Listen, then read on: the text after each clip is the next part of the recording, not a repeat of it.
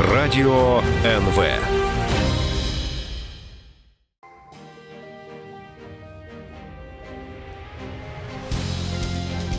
Новий вечір на радіо НВ.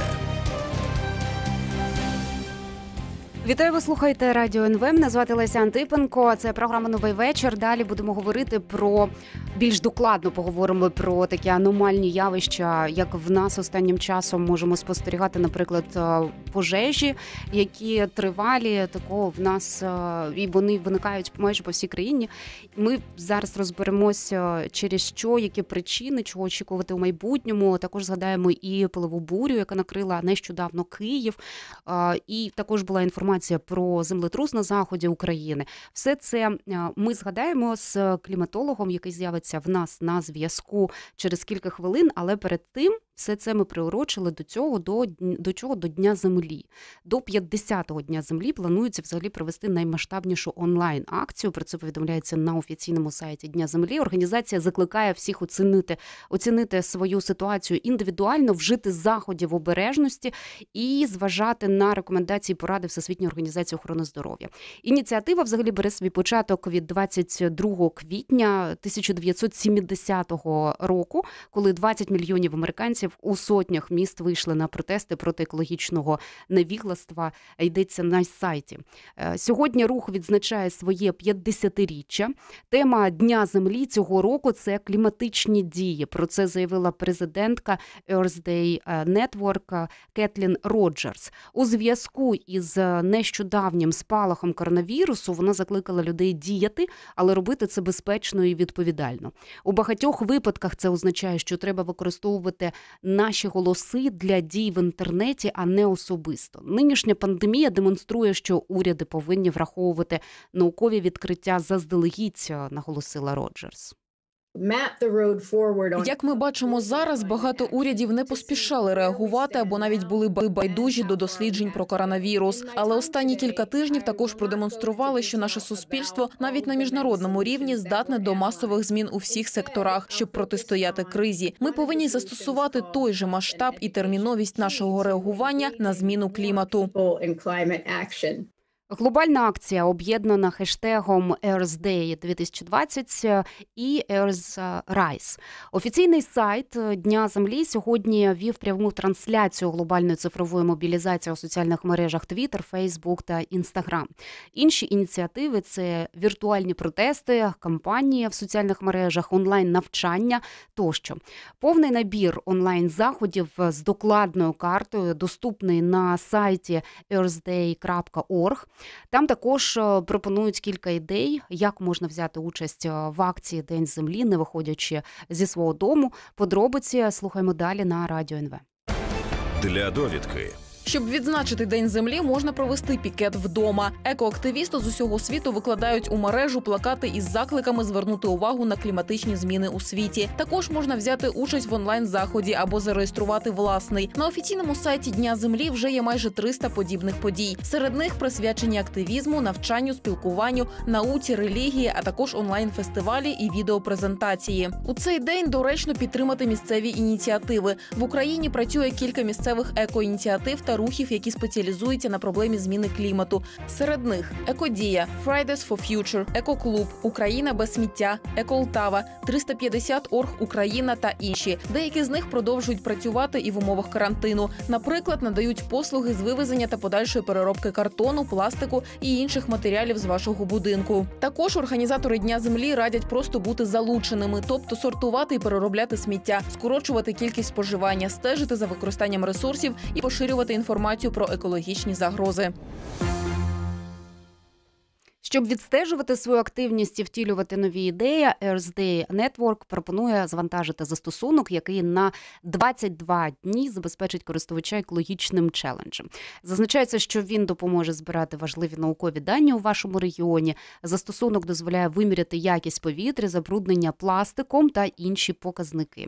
А з нами зараз на зв'язку Світлана Краковська, це кліматолог, метеоролог, старший науковий співробітник Українського гідрометеорологічного інституту ДСНС та НАН України, член міжурядової групи експертів з питань зміни клімату і кандидат фізико-математичних наук. Я вас вітаю. Доброго дня. В нас е, День землі сьогодні. А як взагалі в Україні е, це відзначається? Я розумію, що зараз в нас все відбувається онлайн. Чи що сьогодні проходить? Якісь заходи, лекції, можливо? Ну, ви знаєте, насправді я не так е, дуже, е, скажімо, знаю про ті заходи, які відбуваються в Україні, тому що я не дуже так занурена, скажімо, в екоактивізм. Зрозуміло. Я знаю людей, але не настільки щоб. Зрозуміло. але впевнена, що вони проводяться. Так, давайте тоді спробуємо поговорити а, про е, те, в чому ви обізнані. В нас останнім часом відбулися такі аномальні явища, як, наприклад, е, ну, по-перше, пожежі, які досі тривають. е, Так, тобто, щось відбувається там пилова буря, щось в нас відбувається з кліматом. Ми це розуміємо. Зараз вже можемо бачити. До цього ми про це дуже активно говорили. А зараз ми це можемо спостерігати. Чи дійсно це все через зміну клімата, як нам пророкували раніше? Ну, я думаю, що тепер можна казати, що це очевидно, тому що дуже багато людей на власні очі бачать, до чого це призводить. І ви дійсно праві, що раніше ми про це говорили, але ніхто, ну так би мовити, не звертав дуже сильно уваги. І допоки, от знаєте, як гром не гряне, да? От і але тепер е, в зв'язку з е, тими подіями, які у нас е, от е, особливо в цьому році відбуваються, тобто це безсніжна зима, коли взагалі ми не бачили снігу. Зараз е, в нас не було повені весняної. Це також е, вперше за, е, за весь період спостережень, практично. От, тобто нас е, очікує рік е, дуже маловодний. Ми передбачаємо, що будуть проблеми з водою. Не знаю, чи звертає хтось увагу на те, що ми про це говоримо. Сподіваюся, що так, і що місцеві громади якось е, будуть е, готуватися до цього, а також очільники ну, вищого рівня, скажімо так. А що О, це зрозуміло. означає проблема з водою? Проблема з водою це те, з чим вже стикаються люди не тільки на півдні України, які традиційно е, ну, були мало забезпечені водою. У нас на півночі України, яка е, як кліматичні зони, в нас перезволоження завжди було, і ми знаємо про це. У нас болота е, на півночі України, але тепер ми знаємо, що вони повисихали, і саме вони е, дуже часто є причиною цих займань, це торфовища, які займаються. І ліси насправді горять саме через те, що мало води, дуже багато сухої деревини, і підстілка суха, і не було знову ж таки снігу, не було дощів, і е, це одне на одне. Тобто цю ситуацію можна було передбачити, більш того, вона була передбачена, але як завжди, ми виявилися не готові. А ви кажете про те, що зараз, можливо, на цю інформацію почнуть звертати там урядовці. А як? Що саме вони можуть зробити? Ну, напевне, я думаю, що перш за все треба людям е, усвідомити, що це проблема, і, по-перше, хоча б заощаджувати воду. Бо в нас я знаю, що дуже багато людей ну, так полюбляють відкрити воду і слухати, як вона журчить з крана. Е, Стільки води не буде, напевно, можуть навіть вводитись якісь е, обмеження в водопостачанні, такі як зазвичай були на півдні, тобто десь е, зранку і ввечері, а в день, наприклад, не буде води, щоб люди теж е, ну я, я так це так би мовити, трошки може наперед заб- забігаю, але я моя така спеціальність, що я завжди намагаюся дивитися наперед. От е, і враховуючи те, що дійсно в нас зараз така посуха, люди просто не навчені заощаджувати воду, і дуже багато також е, органів виконавчої влади вони не знають, і ну, не було в них таких проблем ще досі. Угу. То пев- певно, треба шукати цей досвід е, там, де вже були такі проблеми, і впроваджувати. Ну знову ж таки, може якісь ємності для води робити. Є багато різних способів таких. Зрозуміло. Так, зрозуміло. До яких ще наслідків може призвести те, що в нас була безсніжна зима? Ну, один з наслідків ви вже вказали, це полові бу- бурі. Це те, що е, верхній шар землі він е, сухий, і відповідно при е, такому сильному вітрі він буде підніматися, враховуючи те, що дійсно в нас велика біда з лісосмугами, їх просто знищили. Е, В основному місцеві жителі, як мені розказують, е, просто на дрова порубали і не думаючи про наслідки. То е, такі бурі, знову ж таки, в у відсутності опадів вони будуть все частіше і частіше. Це дійсно буде проблема для аграріїв, оскільки родючий шар землі таким чином може бути просто здутий і перенесений кудись. От е, і це все просто ще відбувається. Чому? Тому що навесні немає ще е, рослинності, навіть травяного покриву він ще не встиг з'явитися. От якби хоч трошки пізніше, ну трава вже б десь піднялася і вже б його якось стримувала. Ну, взагалі, рослинність це одне з таких натуральних да, рішень для зміни клімату. Якщо її не чіпати, якщо її е, балансувати, м, плані, що ну знову ж таки ці рубки лісів, вони от рубки лісів вони призвели до того, що, наприклад, е, на півночі Чернігівської області була навіть не пилова буря, а піщана буря. І засипало навіть піском. І там були бархани, і це просто, ну я не знаю. Це було цього року? Так, це було тоді, коли в ті, в ті самі дні, коли в нас була в Києві пилова, то бархани були в Семенівці. Зрозуміло, все змінюється. Так, от я дивлюся на стрічку новин сьогодні, і служба кліматичних змін Коперника вона заявила про те, що 2019 рік був найспекотнішим в Європі за весь час спостережень, і останнє десятиліття стало найспекотнішим в історії. Я думаю, що в Україні також е, рекорди минулого е, сезону фіксували в нас те, що і тепла зима була, так і все це впливає. Чи можемо ми говорити, що в нас е, клімат вже змінився, і тепер все менше буде снігу взимку? Чи, чи можливо ще зарано? Ви знаєте, е, в цьому відношенні це вже я б сказала, ну не, не те, що запізно, скажімо так.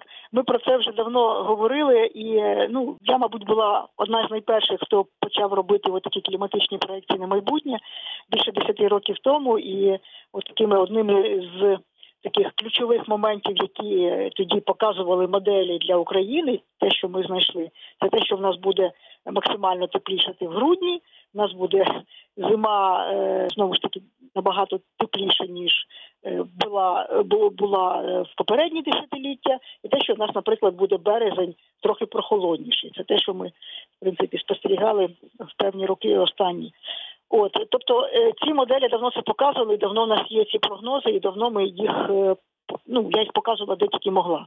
І ну направду я знаю, що вже в ну є е, людей, які е, хоч трошки відповідальні за це, вони розуміють, що зміни клімату вже відбулися, і що е, наразі потрібно не тільки за ними спостерігати, а вже треба і адаптуватися до цих змін, які відбулися, і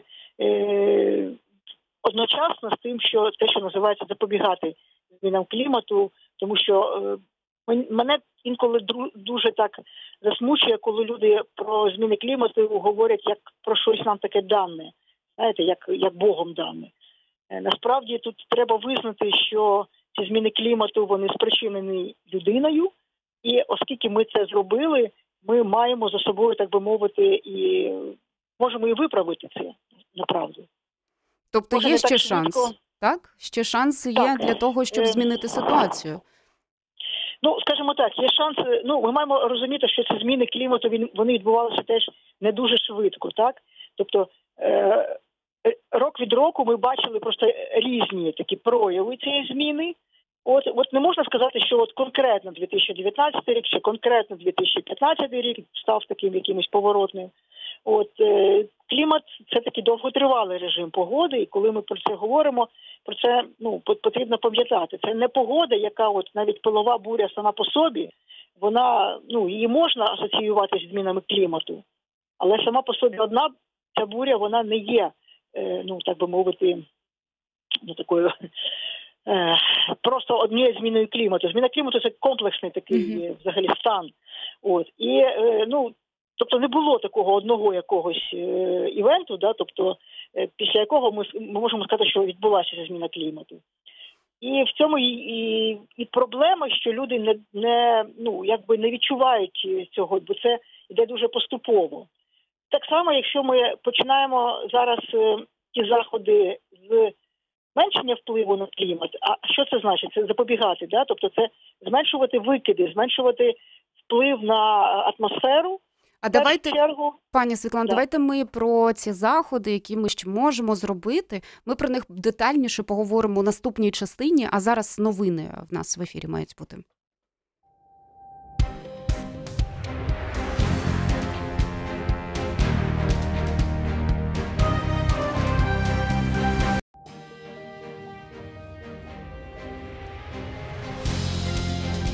Новий вечір на радіо НВ.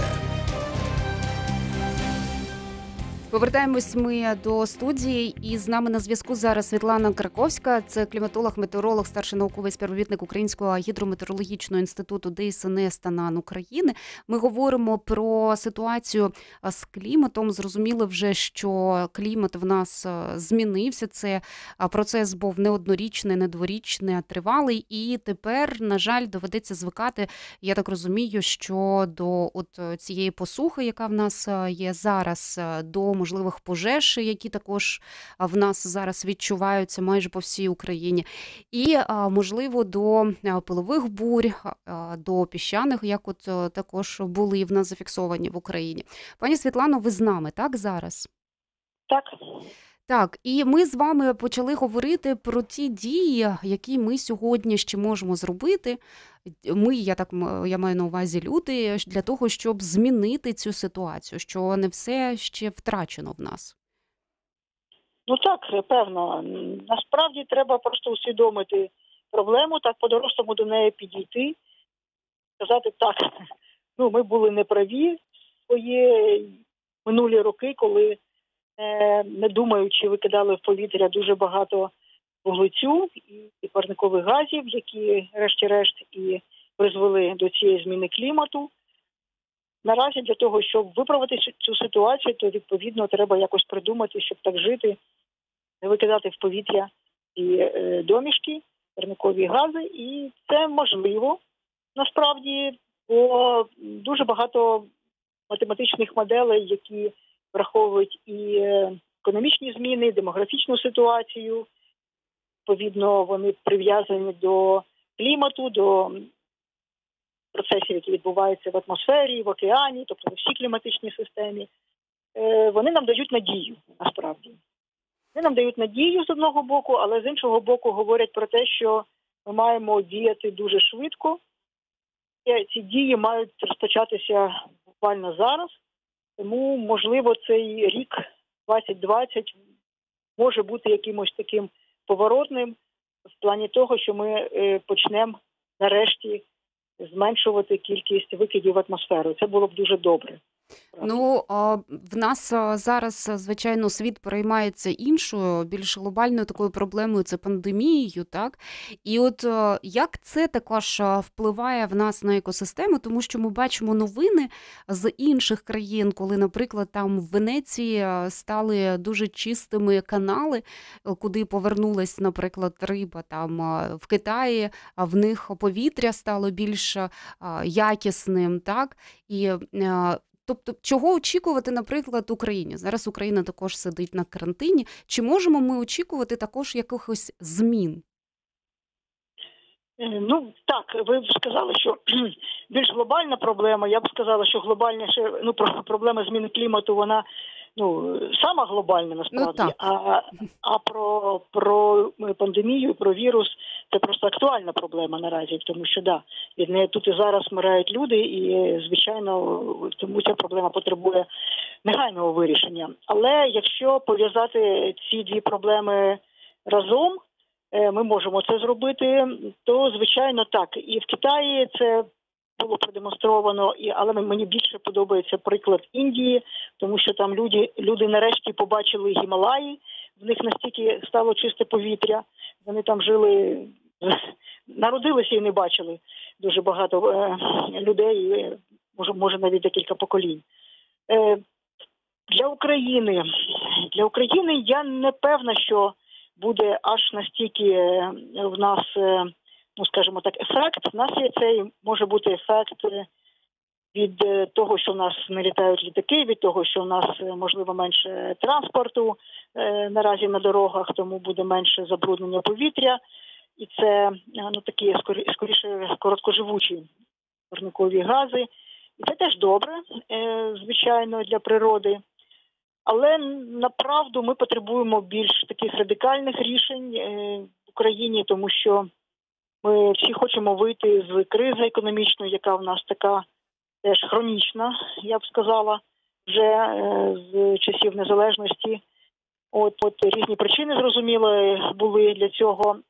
А для виходу з економічної кризи, звичайно, треба, щоб в нас працювала економіка, яка потребує енергії. Так от у нас вся ну більшість енергії в нас е, була вироблена з вугілля. Вугілля, вугільні шахти це ну найбільший і забруднювач повітря, і найбільший е, ну, постачальник парникових газів в атмосферу також. Тому е, першим кроком, мабуть, те, що треба зробити Україні, це все ж таки розробити заходи, е, щоб е, позбутися цього. Я нещодавно чула, що багато країн вже європейських е, направду закрили вугільні шахти і змогли це зробити. Країна, яка перша Е, взагалі-то ну яка є колискою промислової революції, Великобританія вона відмовилась від вугільних шахт. Ми знаємо, скільки там було теж проблем е, з з робітниками цих шахт і так далі. Але вони змогли. Е, ну так само я здається, нещодавно чула про Австрію. І ну тобто, ми маємо наслідувати в цьому відношенні європейські країни. Є досвід, і ми маємо його використати в першу чергу.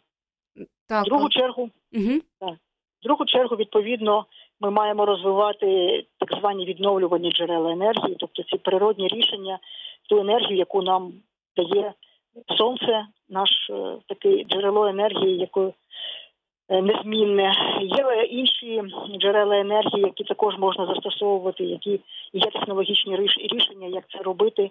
Ми також це маємо розвивати. Е, я також в цьому відношенні такий досить великий оптиміст, можна сказати.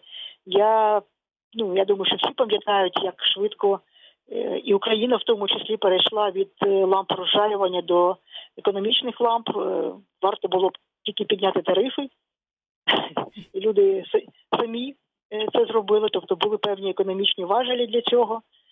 Я думаю, що на майбутнє так так само можна це робити.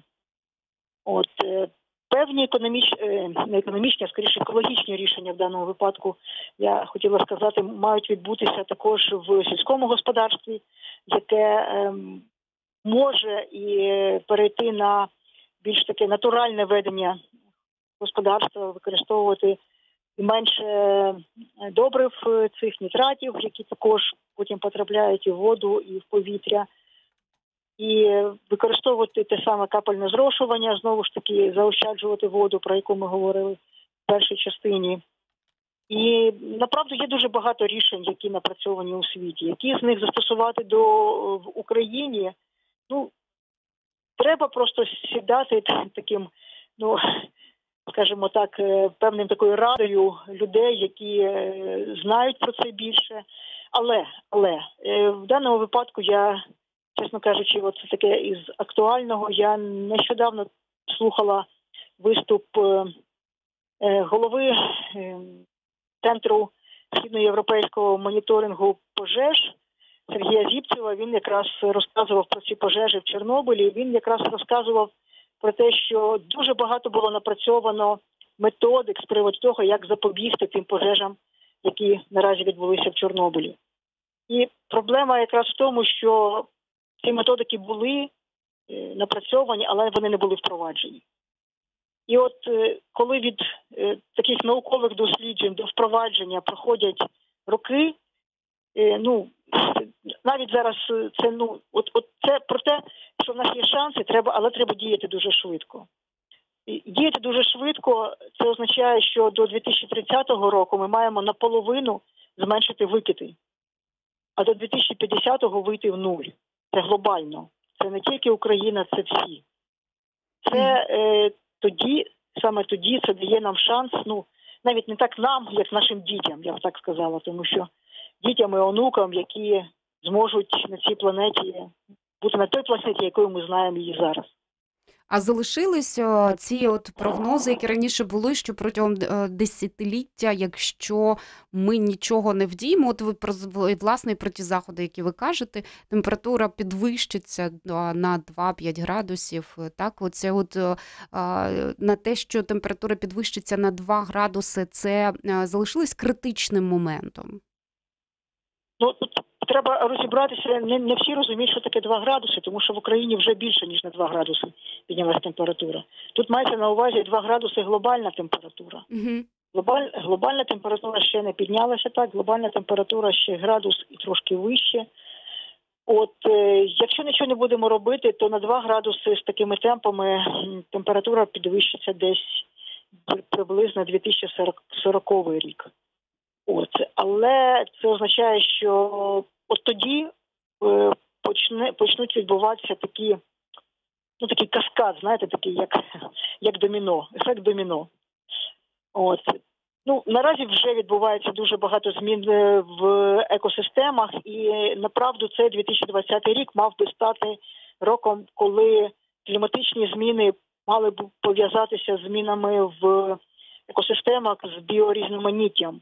Е, оцей коп, який не відбувся, який перенесли, він якраз там мали якраз ну розглядати ці питання, як е, зміни клімату впливають на біорізноманіття, і ну тобто, це дуже дуже актуальна також проблема. Якби не вірус, то то, то це було б вже ну нас е, і вас в ефірах, і повсюду. А в нас є в Україні якісь види, наприклад, тварин або біо там рослин, які зараз під загрозою знаходяться, знищені саме через зміну клімату? Ви знаєте, я дуже не люблю, коли ну давати такі е, давати коментарі там, де я не дуже розбираюся. Угу. От я зрозуміла Але, так.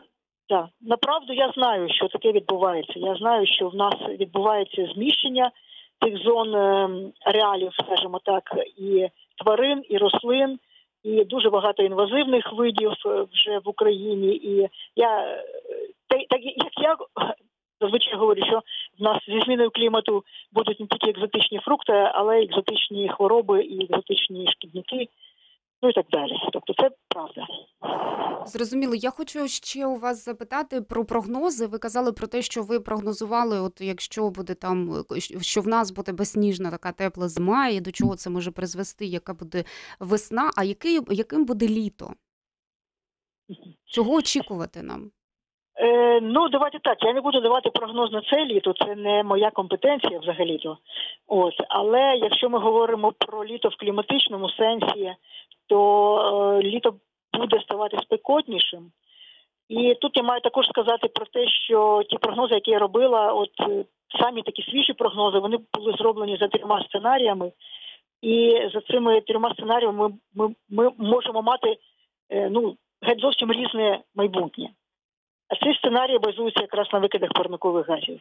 Тобто, якщо ми підемо тою траєкторією, про яку ми хочемо, як я казала, наполовину до 30-го року, в нуль до 50-го року, то в нас е, поступово ми повернемось до тих показників, які у нас були ну навіть 5-10 років тому, е, з опадами нормальними і літом таким не дуже спекотним, або ну таким, таким, яким ми його знаємо.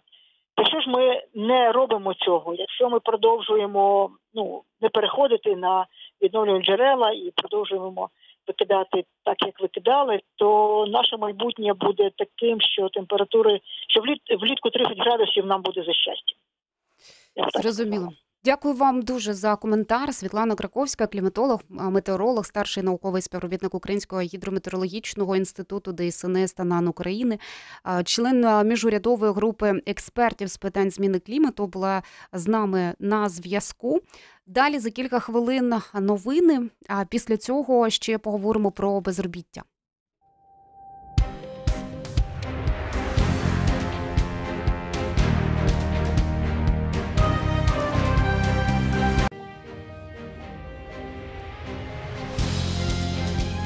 Новий вечір на радіо НВ. Понад 2 мільйони українців втратили роботу через карантин. І, хоча офіційно зареєструвались безробітними лише близько 400 тисяч громадян, про це повідомив прем'єр-міністр України Денис Шмигаль в інтерв'ю РБК Україна. За його словами, люди, які нині пішли у тимчасово вимушені відпустки, це так зване приховане безробіття. Нагадаю, лише за минулий тиждень кількість офіційно зареєстрованих в Україні безробітних збільшилась майже на 30 тисяч людей. Всього за час карантину на облік стали понад 100 тисяч людей, що втратили роботу. Про це свідчать дані за Держслужби зайнятості.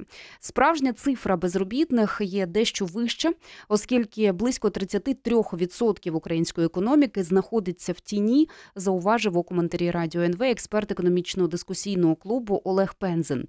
За його словами, ці люди працювали передусім в малому та середньому бізнесі. Якщо така ситуація продовжуватиметься, громадяни почнуть ігнорувати карантин, оскільки людям потрібні будуть, будуть хоча б якісні, хоча б якісь е, гроші у такій ситуації. Уряд не зможе працювати, вважає економіст. Зовнішньо це виглядає фізичне зменшення грошей в кишені в кожного українця. Тобто, ми ж вами маємо розуміти, що безробіття це неможливість отримати належного доходу для того, щоб прогодувати власну сім'ю. До лав безробітних долучилися ті люди, які приїхали за кордону з зароду. Фактичний стан справ, то там ситуація значно гірша, тому що там є достатньо багато людей, які були працевлаштовані не дуже легально, які не платили єдиний соціальний внесок і які втратили роботу без можливості. Е, скажімо, отримувати якісь достатньо непогані доходи служби зайнятості. Нагадаю, раніше прем'єр-міністр Денис Шмигаля заявляв, що уряд працює над кількома програмами, які направлені на створення нових робочих місць та вихід із кризи. Наразі в Україні ще немає критичної ситуації з безробіттям, а інформація про те, що в країні можуть початись страйки, перебільшена. Так вважає соціологиня та співробітниця відділу соціальної психології інституту соціології НАН України Олена Злобіна. За її словами, те, що у людей закінчується заощадження, не означає відсутність їжі. Це стосується передовсім громадян, які мають мають місце проживання не у містах. Водночас каже експертка, у великих містах більше можливостей знайти роботу. Дуже багато людей продовжують працювати, ходять е, пішки навіть в Києві на роботу кілометрами, але підприємства приватні продовжують працювати. Насправді, якби ми тільки в грошах заощаджували, то була б ситуація інша. Але загальні дані дані щодо опитування населення вони ще показують, що певний запас часу, ну як на мене, ще є. Населення поки що не відчуває критичності ситуації. І я вам скажу, це населення, яке має доступ до реальної землі, і не буде певний час відчувати. Додам 45% українців витратили за час карантину всі заощадження. Про це свідчать результати третьої хвилі опитування, проведеного компанією Research and Branding Group з 11 по 17 квітня 2020 року. Детальніше про фінансові наслідки обмежень через пандемію слухаємо далі на Радіо НВ. Для довідки. За даними опитування, приблизно кожен четвертий українець продовжував ходити на роботу, а приблизно кожен шостий працював віддалено. 30% громадян вважає, що їхніх заощаджень вистачить не більше ніж на місяць. Загалом близько 90% українців кажуть, що з переходом на карантин у них виникли нові проблеми. Найчастіше до таких відносять появу фінансових труднощів. Це 40% опитаних. Труднощі з турботою про здоров'я близьких відчув кожен четвертий. Водночас проблеми з відсутністю транспортного сполучення між містами зачепили майже кожного кожного п'ятого респондента. Стільки ж відчувають тривогу через невизначеність ситуації. Додам, що на період е, дії карантину статус безробітного надаватиметься відразу після подання людиною відповідної заяви. При цьому допомога по безробіттю призначатиметься е, з першого дня після реєстрації. Відповідне рішення ухвалив уряд. Відзначається, що після подачі заяви на е, не застосовується семиденний період для активного пошуку роботи. Людина не зобов'язана протягом семи днів відвідувати співбесіди із роботодавцями, а відразу отримати отримує статус безробітного. З нами зараз на зв'язку Тимофій Милованов, президент Київської школи економіки, міністр розвитку економіки, торгівлі та сільського господарства в уряді Олексія Гончарука. Я вас вітаю. Добрий вечір. Так, я знаю, що ви також уважно стежите за тим, що відбувається в нас з економікою в Україні. В нас карантин продовжено до 11 травня, і я знаю, що у вас є пропозиції, які ви вже написали в статті щодо фінансової підтримки певної категорії громадян. Чи не могли б ви поділитися з нами тим, кому і за що, і в якій сумі може бути ця підтримка фінансова в умовах безробіття? На мою думку, найважливіше підтримувати тих, хто залишився без роботи, без роботи взагалі став безробітним і залишився без роботи тимчасово, тобто тих, кого відправили, наприклад, в тимчасові відпустки, або кому скоротили час е, роботи, або хто був самозайнятий, чи неформально оформили, чи підприємцем і зараз немає доходу через карантин. Тому що е, ці заходи карантинні вони є тимчасові, а, і потрібно, щоб ці люди мали такий самий дохід, е, ну хоч половину того доходу, що вони мали під час, коли вони працювали. А наша система вона ну налаштована таким чином, що вона дає доход е, пенсіонерам через пенсії і дає дохід е, безробітним, хто офіційно є не, працевлаштований але там сума залежить від того, чи у вас є стаж, чи не, немає. Тобто, наприклад, якщо у вас жодного стажу немає, ви отримуєте зараз тисячу гривень на місяць. Ну було раніше 650 і підняли до тисячі, це дуже добре. Але тисячі не ну недостатньо. Тому що якщо людина там собі заробляла 5-6 тисяч гривень чи 4, а зараз е, отримує тисячу, це взагалі ні про що. Тому тут важливо гроші використовувати ефективно. І насправді це не дуже популярно таке говорити, але це правильно. Потрібно не збільшувати зараз підтримку пенсіонерам, тому що насправді у них дохід був так. Він маленький, так потрібно, щоб він був більший. Але вони зараз не так сильно постраждали. Постраждали вони в зоні ризику, але не так сильно, ніж ті, як ті, хто взагалі втратив роботу, чи втратив роботу е, тимчасово, чи був непрацевлаштований офіційно. Тому ці люди взагалі не мають підтримки. І ті гроші, які є, потрібно направити на підтримку їх, щоб їх е, врятувати на час карантину. А вже після після закінчення карантину можна думати про підтримку пенсіонерів того ж. Тому що якщо ми не підтримуємо бізнес, не підтримуємо людей, які працюють. То не буде кому працювати, щоб податки платити в майбутньому і пенсії в тому числі. Тобто ця схема має працювати лише на період карантину, так? Ці так. Угу. А, Наскільки це взагалі реально, і про які суми з бюджету тут може йтись мова? Ну, у нас 17 мільйонів людей в роботі силі. Це за термінологією економістів. Це ті люди, які знаходяться в, е, в віці, коли вони можуть працювати.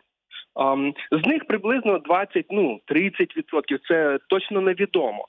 Ем, зараз втратили роботу. Хтось працював неофіційно, хтось офіційно і так далі. Ну от припустимо, це 2-3 е, мільйона людей. Якщо їм давати середню підтримку, таку як половина зарплати, наприклад, да, середньої по країні, там 5 тисяч гривень чи 4, то ми говоримо про ну 3 мільйони, наприклад, по 5 тисяч гривень. Це ми говоримо про 15 мільярдів гривень. Це великі гроші, але не такі вже і критичні, тому що е, бюджет е, України взагалі складає близько одного трильйона. Бюджетний дефіцит, те, що ми додатково фінансуємо на на період е, коронавірусу, бюджетний дефіцит був збільшений на 200 Е, мільярдів. І, наприклад, індексація пенсій чи оці допомоги вони і є цифра 20 мільярдів. Тобто, якщо більш ефективно використовувати гроші і, наприклад, відтермінувати індексацію, ну я не не хочу протиставляти підтримку пенсіонерів, підтримку тимчасово е, безробітних, але в принципі можна відтермінувати певні програми, які під час коронавірусу взагалі не працюють в будь-якому випадку, і за рахунок того, чи стабілізаційного фонду. Ем, чи інших програм, які зараз не виконуються, профінансувати. Тобто 15 мільярдів гривень це великі гроші, але не критичні. А ви врахували це? В нас же повернули ще заробітчани до України за деякими даними їх близько двох мільйонів. Ну так, е, дивіться, от в цю цифру там 3, 3 е, мільйони і входить така цифра е, кількість mm-hmm. людей, тому що десь 500-700 тисяч за оцінками торгової промислової палати це скільки зараз там є безробітних додатково. Ну, може 4 мільйони. Тут потрібно дивитися, але все одно це порядок цифри 15-20 мільярдів гривень. Е, це знов таки великі гроші, але не критичні. Їх можна знайти. До речі, до цього для цього потрібно е, відповідально ставитися до фінансування бюджету. Потрібно прийняти той антибанківський закон. Вибачте, що я з цим заходжу. Добре, що Євросоюз надає нам підтримку, світовий банк, МВФ тощо. Да, оці всі речі потрібно просто зробити, і тоді ми нормально проходимо кризу. Якщо ми цього не зробимо, то вихід з кризи буде складніше. Ну і людям буде тяжче. Це є, я так розумію, цей таргетований карантин, про який ви писали у статті. Так що Так. це що це за стратегія така? Ідея така, що зараз ми як сокирою, знаєте, рубаємо да, е, дерево повністю. Але нам потрібно не все ж дерево хворе, да? десь можливо більше є заражень, десь менше. Якби б ми мали систему е, такого масового тестування, не обов'язково всіх тестувати, але так, щоб у нас було достатньо інформації, яка ймовірність заражень. Е, Тому ми би знали, що, наприклад, у Києві набагато більше. Ну ми зараз і це і так бачимо, але е, ще чіткіше масово тестувати, як в певних азіатських країнах робили. І тоді ми маємо таргетувати е, не так, не абсолютно, не на всю країну одні й ті ж умови, а там, де є більше ризик, більше захворювань, більше людей гине, то там жорсткіший карантин. Там, де все нормально, все спокійно, люди не захворіли, там можна дозволити працювати. От ми, до речі, такі політики ем, використовуємо, наприклад, в економіці досить часто. Я говорю з точки зору економіста, а не з точки зору епідеміолога чи медика. Тому ну е, от порівняю з інфляцією, з цінами. Ми ніколи не кажемо, що ціни не можна піднімати чи опускати. Ми ніколи в ринковій економіці ціни не регулюємо. Але ми регулюємо інфляцію. Ми таргетуємо інфляцію, тобто ми таргетуємо середню ціну. Ми кажемо, окей, добре, що десь ціна могла зрости на якісь товари, на якісь впагли, але головне, щоб е, те, що е, українець ви, витрачає в середньому, е, ціни не зростали або зростали повільно. Так само потрібно і тут. Потрібно досягти мети, що коли людина виходить на вулицю і йде там на роботу чи там в магазин, що ймовірність її зараження була там, наприклад, 1% чи менше 1%. От про це йдеться мова, коли таргетування. І в тих в тих місцях ці- чи в тих регіонах, де мало заражених, там ймовірність менше, тому можна дозволити більше активності. В тих містах чи місцях, де багато захворюваних, чи там публічний транспорт так працює, як метро, де всі люди разом, да? там потрібно більше обмежувати. Е, От така сама ідея, вона використовується в інших напрямках в економіці, а ми говоримо зараз про економіку, тому що карантин зупиняє економіку, то і тут потрібно таргетування робити. Кожне ну, підходити, знаєте, не сокирою, а скалпелем. Як вважаєте, після 11 травня, зараз продовжили в нас карантин до 11 травня. Після 11 травня чи потрібно його послабшувати, чи можливо, от зрозуміло, що потрібно зважати на таргетований карантин, тобто на регіони, де там е, збільшується або зменшується кількість захворівших. Але чи о, витримає економіка України ще продовження карантину? Ну, ситуація стає критична. Ми це бачимо і по ем, опитуванням людей, які кажуть, що в них закінчуються гроші, і там більше половини людей вже в них менше ніж на місяць гроші залишилися.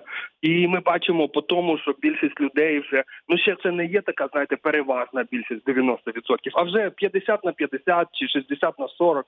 Е, Вже люди кажуть, що їх більше хвилюють ризики е, від е, е, зупинки економіки, ніж е, від е, ризики заражень. Тут, звичайно, потрібно балансування. Тут потрібно готуватися до того до цього таргетованого карантину. Для цього потрібно нарощувати систему тестування, перш за все.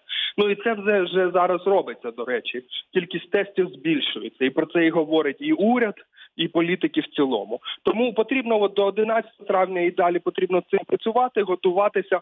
Але е, наскільки я розумію, ну в мене є підозра, що е, карантин такий жорсткий 11 травня теж не відмінять, тому що ну ще дуже страшно з політичної точки зору. І політиків тут можна зрозуміти, тому що уявіть собі, що почнуть люди масово.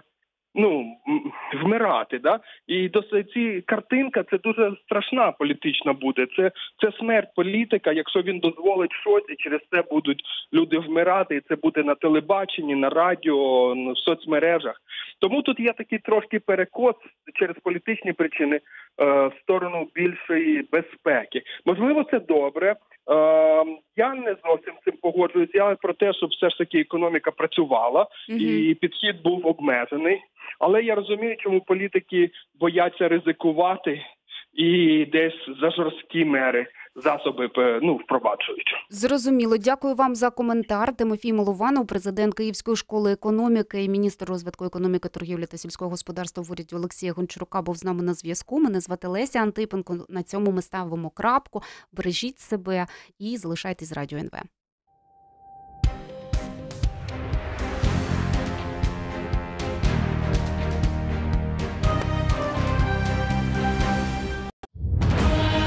Радіо НВ.